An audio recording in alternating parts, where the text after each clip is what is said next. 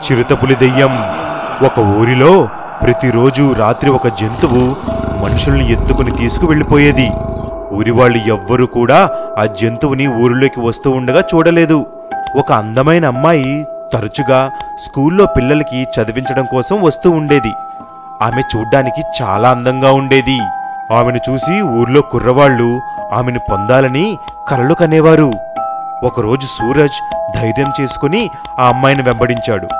ఆమె ఊర్లో పిల్లల్ని చదివించాక అడవి వైపుగా ఆమె ఇంటికి వెళ్ళేది. ఏ ఆగు ఇలా విను. నీ పేరేంటి? నువ్వు నన్ను పెళ్ళి చేసుకుంటావా? ఏంటి? పెళ్ళా? అసలు ఎవరు మీరు? నా పేరు సూరజ్. నేను ఇదే ఊర్లో ఉంటాను. నేను నిన్ను పెళ్ళి చేసుకోలేను. ఎందుకు? ఎందుకు చేసుకోలేవు. ఎందుకంటే నేను ఒక దెయ్యాన్ని. అనుకోకుండా అమ్మాయి దెయ్యంలా నవ్వుతుంది. ఇంకా ఆమె శరీరం మెల్లమెల్లగా ఒక చిరుతుపుల్లా మారిపోతుంది. అలా అకస్మాత్తుగా అది తన పదునైన పంజాతో సూరజ్ మీద దాడి చేస్తుంది. కాపాడండి కాపాడండి. ఎవరైనా నన్ను ఆ దెయ్యం నుండి కాపాడండి. రక్షించండి. సూరజ్ ఏదో రకంగా తన ప్రాణాలను దక్కించుకొని తన ఇంటికి తిరిగి వచ్చేస్తాడు.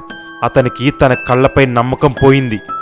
అతను తన కళ్ళతో ఒక అందమైన అమ్మాయిని ముందు దెయ్యంలా ఆ తర్వాత చిరుతలా మారడం చూస్తాడు.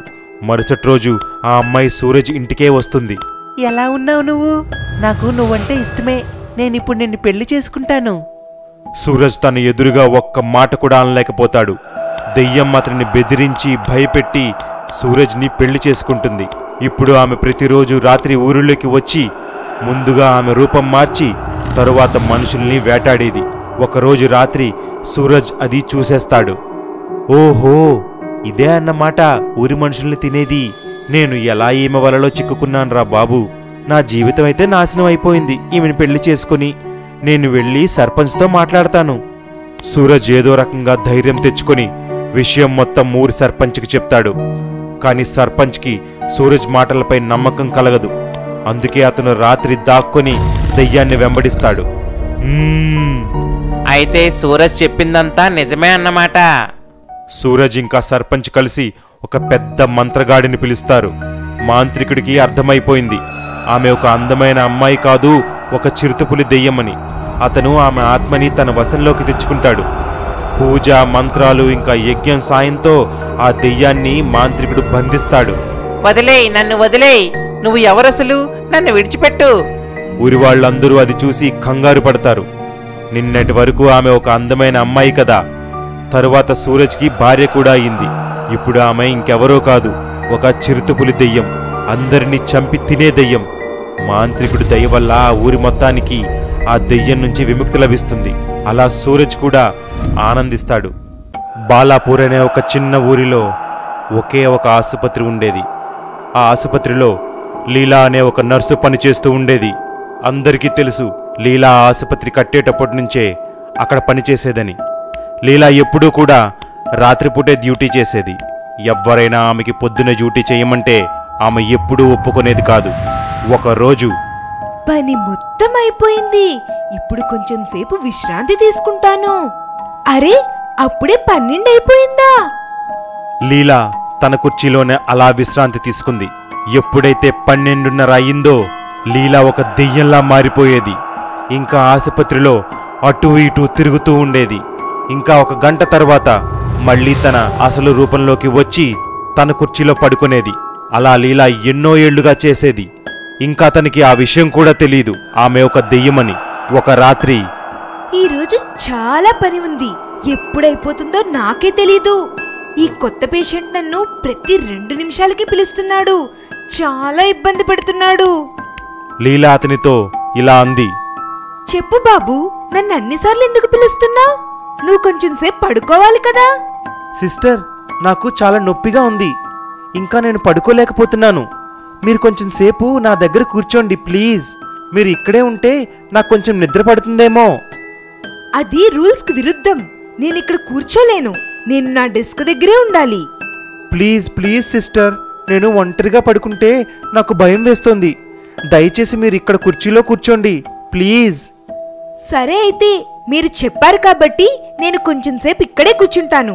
ఈలోపు మీరు పడుకోవడానికి ప్రయత్నించండి. లీల అక్కడే కుర్చీలో కూర్చుంటుంది. ఇంకా సరిగ్గా పన్నెండున్నర అవుతుండగా లీల మళ్ళీ దెయ్యంలా మారిపోతుంది. లేచి అటు ఇటు తిరగడం మొదలు పెడుతుంది! ఈ రోజైతే నాకు చాలా ఆకలిగా ఉంది. సరే ఇతనినే తిని నా ఆకలి తీర్చుకుంటాను! దెయ్యం మాటలు విని ఆ పేషెంట్ కళ్ళు తెరుస్తాడు. లీనాని దెయ్యం రూపంలో చూసి ఇలా అడుగుతాడు. ఎవరు నువ్వు? ఈ నర్సుని ఎందుకు హింసిస్తున్నావు? అసలు నువ్వు ఎవరు? అది అడగడానికి. నేను ఒక తాంత్రికుణ్ణి. నేను నిన్ను ముందే పసిగట్టాను. అందుకే నేను నిన్ను ఇక్కడ కూర్చోమని అడిగాను. కూర్చో ఇక్కడ నోరు మూసుకొని. చెప్పు అసలు ఎవరో నువ్వు? నేను నిన్ను చివరిసారి అడుగుతున్నాను. ఈ నర్సు శరీరం వదిలి వెళ్ళిపో.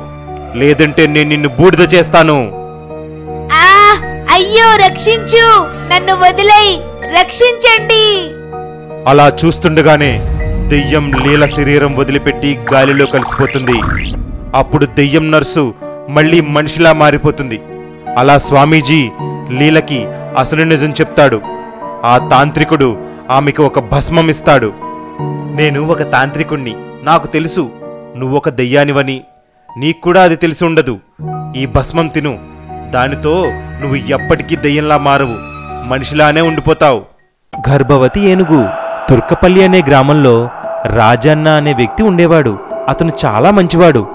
అతను ఒక రోజు అడవి మార్గంలో తన ఊరికి వెళ్తూ ఉండగా అతనికి ఒక ఏనుగు ప్రసవ వేదంతో కళ్ళు తిరిగి పడిపోయి ఉండడం కనిపిస్తుంది. ఇంతలోనే ఆ ఏనుగు ఒక చిన్న పిల్లకి జన్మనిచ్చి అక్కడే చనిపోతుంది. ఆ ఏనుగు పిల్ల పాపం తల్లి కోసం ఏడుస్తూ ఉంటుంది. అది చూసిన రాజన్న చాలా బాధపడి ఇలా అంటాడు. అయ్యో పాపం దీని తల్లి చనిపోయింది. ఈ ఏనుగు పిల్ల ఇక్కడే అడవిలో ఉంటే క్రూర జంతువులు ఏమైనా చంపేస్తాయి. అలా అనుకుని ఆ ఏనుగు పిల్లని తన ఇంటికి తీసుకువెళ్తాడు. కానీ రాజన్న భార్య లక్ష్మి చాలా కోపిష్టి ఇంకా గయ్యాళి.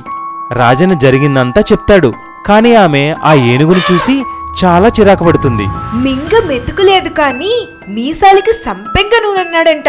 నీలాంటి వాడే. మనకి మూడు పూట్ల ఇల్లు గడవనే లేదు. కానీ ఇప్పుడు ఈ ఏనుగునెక్కడ మేపుతావు? ఇప్పుడే వెళ్ళి దీన్ని అడవిలో విడిచిపెట్టు. అలా అనుకు లక్ష్మి దీని తల్లి చనిపోయింది. అడవిలో వదిలేస్తే ఇది బతకలేదు. పాపం చిన్న పిల్ల కదా. కొన్ని రోజులు ఇక్కడే ఉండనివ్వు. సరే నీ కర్మ ఏదొకటి చెయ్యు. అలా చాలా రోజులు గడిచాయి. ఏనుగు పెద్దదవుతుంది. రాజన్న దానిని కష్టపడి బాగా చూసుకుంటాడు. దానికి రకరకాలైన పళ్ళు కాయగూరలు తెచ్చి పెట్టేవాడు అది చూసిన లక్ష్మికి చాలా కోపం వచ్చేది. ఆమె రాజన్న లేని సమయం చూసి ఏనుగుని కర్రలతో కొట్టేది. ఇంకా ఏనుగుని అడవికి వెళ్ళిపోమనేది. ఒక రోజు ఆ ఏనుగు గురించి రాజన్న లక్ష్మి మళ్ళీ గొడవ పడ్డం అది చూసి ఏనుగు చాలా బాధపడుతుంది. ఒకరోజు ఇద్దరూ పడుకున్నాక రాజన్నకి చెప్పకుండా ఏనుగు వెళ్ళిపోతుంది. అయ్యో నా ఏనుగు కనిపించడం లేదు. ఇదంతా నీ వల్లే. నువ్వు నీ మాటలతో ఇంకా చేతలతో దానిని వెళ్ళగొట్టావు. నీకు ఆ మోగజీవి ఏమన్యాయం చేసింది? అమ్మయ్యా ఇప్పటికైనా పీడ విరగడయింది.